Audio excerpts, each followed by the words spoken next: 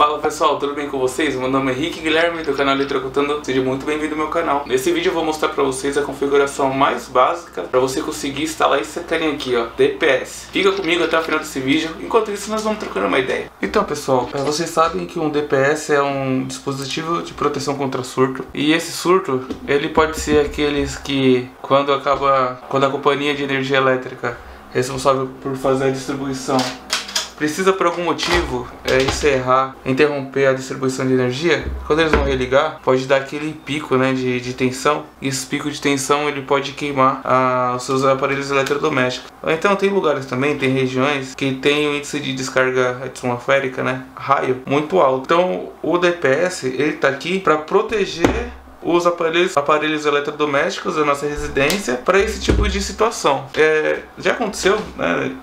Tem até um vídeo sobre isso aqui no meu canal. Eu tinha uma geladeirinha na época do início de casado, né? Geladeirinha pequena, aquelas de 210 litros. Um dia do nada ela queimou. Quando ela queimou, ela queimou o varistor da placa de controle. Aí eu fiquei sabendo que na rua queimaram mais outras geladeiras também. Quando eu vi que ela queimou e eu fiquei sabendo dos vizinhos que também havia queimado, era porque teve um surto de tensão na residência, né, na, na rua de casa. O DPS, se ele estivesse instalado na, na, no meu quadro de distribuição, todo aquele surto que veio para a instalação da minha residência, ele iria drenar. Então, e, o surto iria para ele, aqui dentro tem um varistor, e esse varistor que seria que faria a proteção. Depois que esse cara ele atuasse, aqui onde está verde iria ficar vermelho, eu ia conseguir fazer a troca só desse módulo. Esse varistor aqui é da Stack, um varistor muito bom, é um, é um DPS muito bom, fácil também de, da instalação.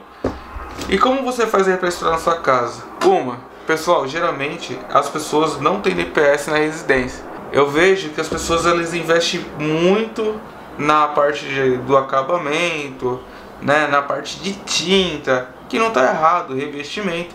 Só que na parte elétrica é onde a pessoa quer economizar. Por quê? Aonde fica escondido. Mas vale a pena a instalação desse cara aqui. Bom, falei demais, vamos falar agora da parte de instalação.